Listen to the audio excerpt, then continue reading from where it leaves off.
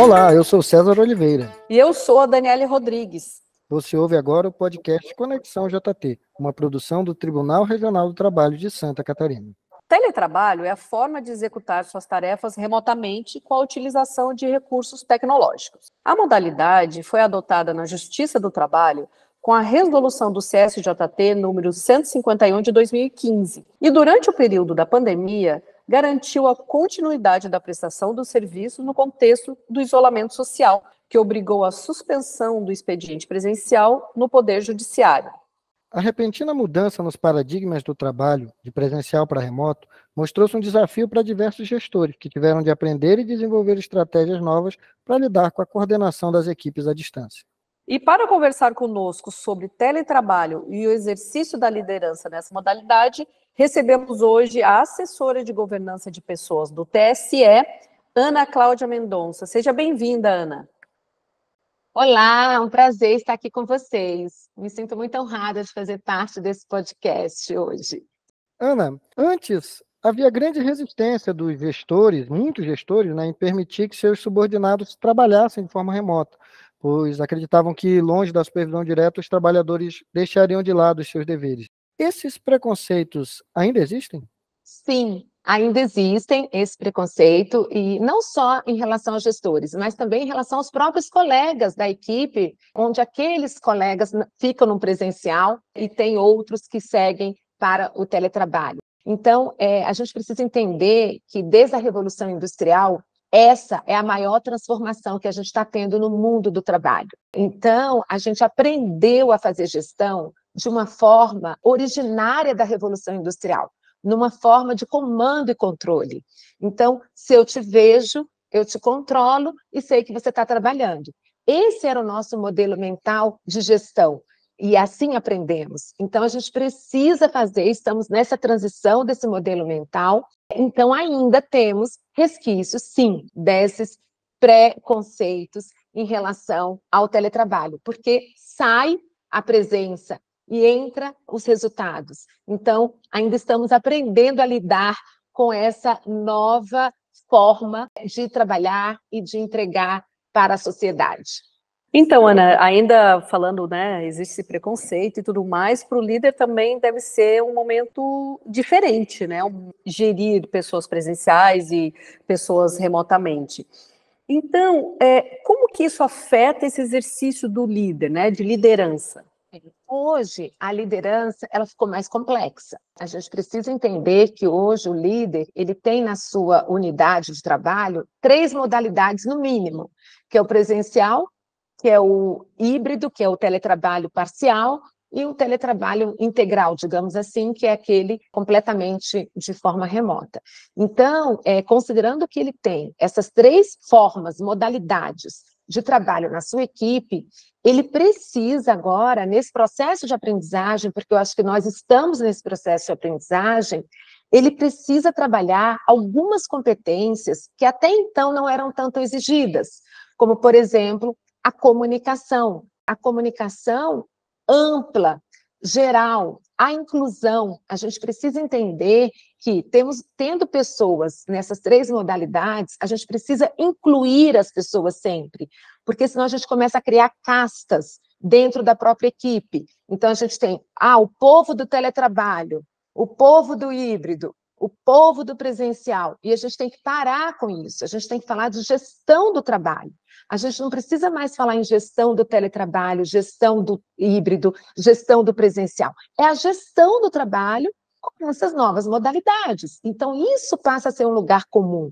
Então, a liderança precisa entender que quando ela coloca, ela pensa em comunicação, ela pensa em inclusão, ela pensa em todos da equipe. Porque se você não olha a equipe como um todo, você começa a distanciar as pessoas. E aquela pessoa que vai para o teletrabalho, ela acaba ficando sem a noção da equipe, ela fica não se pertencendo. Então, cada vez mais, a gente vai exigir que a liderança ela esteja atenta às necessidades do indivíduo, do resultado e da equipe. Então, ela precisa trabalhar nessas três dimensões. E isso, óbvio, que cria mais desafio para a liderança. Mesmo porque não tem uma fórmula mágica, né? Quer dizer, está aprendendo com, a, digamos, o carro andando, né? Está trocando a roda com o carro andando, né? Os líderes. Não tem bala de prata, e o que a gente precisa entender é que cada equipe tem um DNA próprio. Então, o líder, mais do que nunca, ele tem que ser um conhecedor profundo da sua equipe, de como ela entrega, de como ela interage, de como ela trabalha, o que dá certo, o que não dá certo, porque o que dá certo para uma equipe pode não dar para outra. Então a gente vira um especialista da equipe.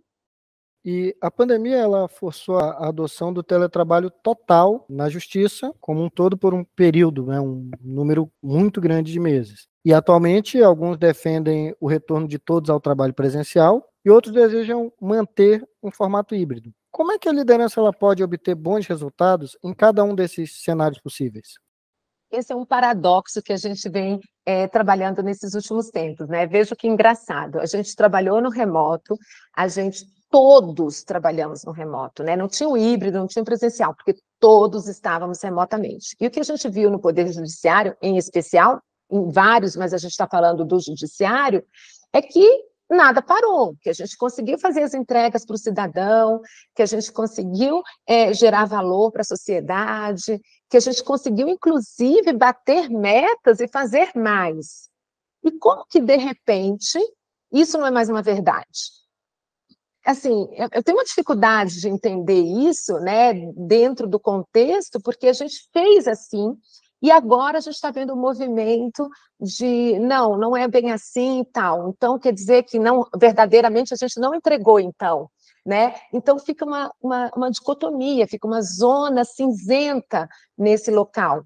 E o que eu gostaria de, de falar é que, assim, algumas empresas, como a gente vê aí, as big techs, que aí eu vou falar Amazon, Zoom, Google, Microsoft, algumas empresas estão aí voltando mais para o híbrido, colocando o híbrido em evidência, como se esse fosse o melhor modelo, né? Trazendo isso. Então, a gente está vendo toda essa dicotomia aí no mundo, né? E o que eu poderia trazer é que a liderança, para trabalhar nesse cenário diverso, onde tem o teletrabalho e o híbrido, e assim, o híbrido até ganhando mais força, uma das formas de é, selecionar e de ter bons resultados é você olhar para o melhor de cada cenário. Então, vamos pensar aqui, o híbrido. O híbrido a gente tem dias no presencial, ou seja, dias dentro da instituição e dias fora da instituição. O que você deveria priorizar no híbrido? Quando a pessoa está dentro da instituição, ela deveria priorizar as atividades que requer a presença dela, quais sejam uma reunião, um bate-papo, um trabalho mais colaborativo, um trabalho mais com inovação. Aproveite a presença daquela pessoa na instituição e façam as atividades que vão ao encontro da presença dela. E deixe as atividades que estão no remoto para atividades mais de imersão no trabalho atividades mais focadas, atividades que a gente precisa mergulhar mais no trabalho. Porque nós precisamos, no nosso trabalho, a gente tem essas duas formas de trabalhar. Na interação com o colega, na colaboração, na conversa, no bate-papo, na, na, na, na inovação. E a gente também tem a necessidade de um trabalho mais imersivo, de um trabalho mais focado. Então, o que a gente tem que fazer é relatar, verificar quais as atividades que eu tenho aqui na minha unidade, quais são as atividades que a gente tem, e quais dessas atividades eu posso potencializar quando as pessoas estão no presencial, e quais das atividades a gente pode potencializar quando as pessoas estão no teletrabalho ou estão fora da instituição trabalhando. E aí sim, a gente consegue é, melhorar e tirar o melhor desses cenários. Ana, voltando ali um pouquinho no ponto que você falou sobre como que durante a pandemia, né, a gente tinha produtividade, parece uma dicotomia que agora o pessoal está fazendo o caminho inverso, que é presencial. Será que isso também não seria o resultado da sobrecarga no gestor é, nesse período de pandemia, porque durante esse período, muitos trabalhadores é, não sabiam como trabalhar de casa, né? E os gestores também não sabiam como trabalhar de casa. Então, eu acredito que durante esse período teve uma sobrecarga muito grande sobre os gestores, né? Então, talvez essa esse caminho de querer trazer mais para o presencial não seja um medo do gestor de continuar a sua sobrecarga, dele ter que se esforçar ou trabalhar muito mais do que ele estava trabalhando rotineiramente quando era no presencial, será que também não tem esse reflexo? É, isso pode ser uma explicação, né? É verdade que o gestor ele ficou, ele ficou mais sobrecarregado. Aliás, as pessoas também ficaram mais sobrecarregadas. É, a gente não sabia, né, é, como trabalhar, enfim. E hoje a gente precisa, e aí um dos pontos importantes para essa nova realidade de novas modalidades é justamente a desconexão digital. Essa desconexão digital, ela é muito importante e uma coisa eu acho que a gente precisa deixar claro, sabe? Eu vejo às vezes as pessoas falar, ah, como é que separa a vida pessoal da vida profissional? É, gente, isso é muito difícil, isso é muito difícil. Eu acho que não tem mais essa separação, sabe? É, e isso, a condição de você estar tá no teletrabalho, de você estar tá em modalidades mais diversas, ela te dá essa permissão, porque eu posso, então, é, de repente, se eu tenho uma meta de entregar na semana, eu posso, de repente, numa sexta-feira, não fazer todas aquelas minhas questões e usar o sábado, porque se for melhor. O equilíbrio entre a vida pessoal e profissional é justamente você escolher as horas e os momentos em que você pode fazer as suas entregas, e não é não se misturar. Então, quando a gente fala assim, ah, porque é, parece que a gente tem uma linha do tempo separada, então a minha vida profissional está aqui, minha vida pessoal está aqui. Não, não é assim. Então, é, o que a gente fala hoje é de um equilíbrio entre a vida pessoal e profissional que passa pelo momento de escolha. Então, eu posso muitas vezes estar entregando ou fazendo um trabalho no sábado, mas eu posso não ter feito na sexta. Por quê? a minha vida pessoal no, na sexta estava muito mais complexa do que no sábado. E aí eu posso trocar isso, entende? Então, a ideia está muito mais no equilíbrio. E quando a gente pensa em desconexão digital, a gente pensa que nós temos que nos desconectar digitalmente, e isso não é só do trabalho, porque não é só o trabalho que está digital, gente. Eu sempre falo assim, gente, o online morreu. Aí eu dei uma palestra recentemente e falei isso, as pessoas, mas como? Porque o online já é um modo de viver. Não tem mais a possibilidade de você pensar em entregar produtos, de você pensar é, é, em ter prazeres é, é de um hobby, ou você de comida, que você não pensa no online. É você pedir uma comida no iFood, é você comprar um ingresso na bilheteria digital ou em qualquer outro site de, de ingressos, então, o online está presente na nossa vida. Então, quando a gente fala em desconexão digital, não é só assim, me desconecto do trabalho. Não, é você mesmo se desconectar da, da, da, vida totalmente online, você também tem as vidas offline, né? Então, essa, essa sobrecarga do gestor passa por ele, sabe? Então, assim, quando a gente fala é, ah, qual é o horário que as pessoas vão estar disponíveis, qual é o período que os colegas vão estar disponíveis. Quando o gestor pede isso para o trabalho da equipe, ele tem que dizer também qual é o período que ele está disponível, sabe? Porque senão ele vai ficar 24 horas disponíveis, porque nós vamos ter pessoas que moram nos Estados Unidos, em um fuso diferente. Então, a gente precisa também, como gestor, dizer qual o nosso período que eu vou estar disponível, para a equipe, porque tem outros períodos que ele está trabalhando, mas ele está no trabalho focado, ele está no trabalho imersivo. Então, essa desconexão digital, ela é importante, inclusive para você fazer produtividade. A gente acha que produtividade é só você trabalhar sem parar, e não é. Você precisa, e agora é, com a morte do Domênico De Masi, que a gente fala do ócio criativo, a gente precisa trazer esse ócio criativo, porque o descanso ele te gera mais produtividade. É, você, o cérebro precisa dessa desconexão, desse descanso, para que ele volte com mais potência. Então, isso faz parte da produtividade. Ana, como gestores podem estabelecer, então, metas para os teletrabalhadores que garantam essa boa produtividade sem significar sobrecarga de trabalho? E como aferir essa produtividade?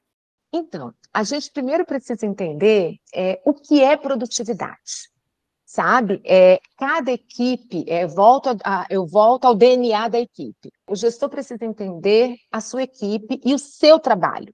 Então, quando a gente olha o, o trabalho, a gente pensa: o que é produtividade para esse trabalho que fazemos, para essa entrega que fazemos?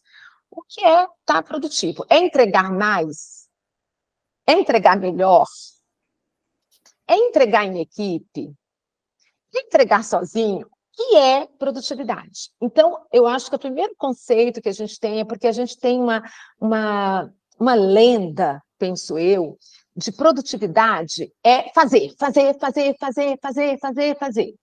E parece que todo mundo pensa igual. Mas a gente tem que entender que os trabalhos são diferentes. Os trabalhos são diferentes.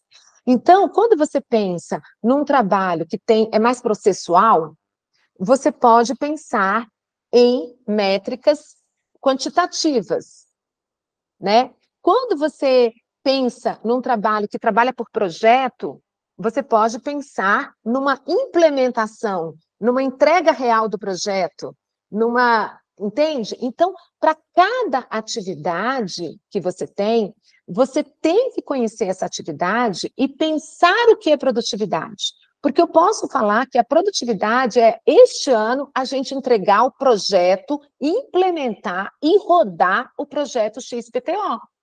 Esse é uma, é uma, é uma produtividade. E para outras atividades, eu, entreguei, eu fazer uma baixa de acervo de 80% é a produtividade. Então, a gente precisa entender qual é a produtividade baseado na atividade que aquelas pessoas fazem. Então, a minha, a minha é, sugestão é que haja o alinhamento. A gente precisa dar clareza para a equipe. Nós temos hoje várias metas que vêm do CSJT, no caso de vocês, no CNJ, né, até questões do TCU. Então, é, com, e é do planejamento estratégico também do órgão. Tudo isso se desdobra em possíveis entregas e resultados que a minha área tem que fazer.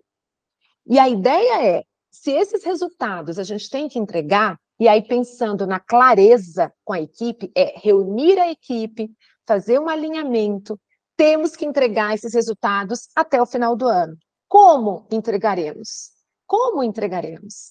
E aí sim, Aí, pensando juntos com a equipe, que isso é uma grande mudança na dinâmica do trabalho, é trazer as pessoas para opinarem, para falarem, para, para poder estar decidindo também sobre o trabalho, e aí a gente pensar quais são as metas que vão ficar para cada um, tendo em vista as entregas que temos que fazer até o final do ano.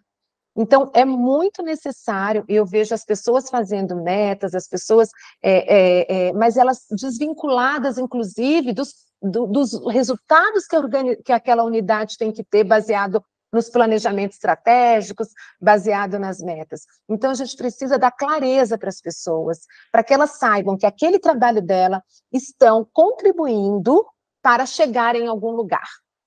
É, né, um momento realmente bem complexo, né, para os gestores, porque eles precisam realmente conhecer as suas áreas, né, para poder fazer essa mensuração, não cair nessa questão da, do preconceito, né, porque muitos acham que quem está fazendo teletrabalho está sendo premiado, né, e quem está vindo presencial está sendo punido por algum motivo.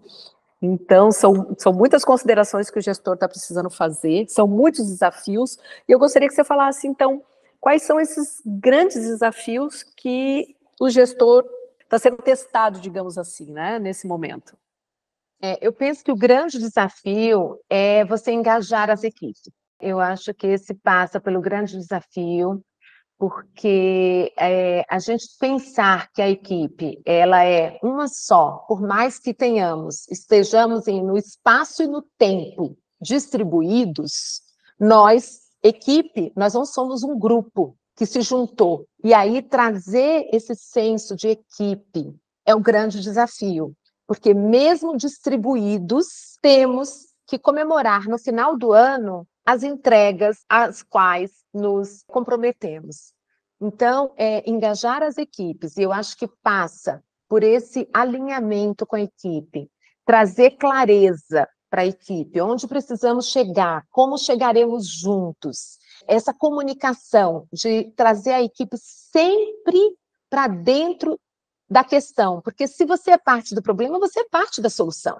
Então, a equipe tem que estar junto na construção das soluções da própria equipe. E eu acho que a gente começa a engajar nesse lugar. E para esse engajamento acontecer, a gente precisa ter como base a confiança. Então, a confiança, ela pode vir a se quebrar? Pode, mas ela tem que partir desse lugar. Eu tenho que partir do lugar de construção, do engajamento com a minha equipe, na confiança, gerando um ambiente de segurança psicológica, que as pessoas possam se sentir pertencendo àquela equipe. Elas podem errar, elas podem ter dúvidas. Nós estamos aprendendo. O processo de trabalho hoje, é, as grandes empresas hoje são grandes escolas. Então, é, o trabalho é um processo de aprendizado. É esse lugar que a gente tem que considerar. Então, a gente engaja as pessoas quando a gente traz elas para pensarem e opinarem sobre as questões da própria equipe elas são as protagonistas. Eu acho que esse é o grande desafio. Ana, então, muito obrigada pelos seus esclarecimentos. Com certeza vai ajudar muitos líderes aí a repensar a sua forma de liderar, a liderar melhor, né? não ficar com tanta ansiedade é, quando for liderar. Então, a gente agradece muito sua presença aqui hoje e certamente esses esclarecimentos foram de grande ajuda para o pessoal que está nos ouvindo. Obrigada. Eu desejo a todos boa sorte nessa jornada, lembrando que a gente é um processo e que o processo é que é valioso.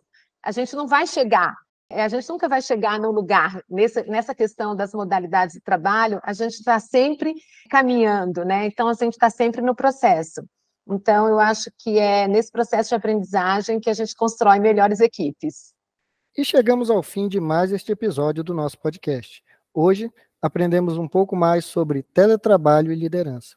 Você confere outros episódios abordando temas importantes da Justiça do Trabalho, como o Programa Trabalho Seguro e Direitos do Trabalhador, lá no nosso canal. Até o próximo episódio. Até!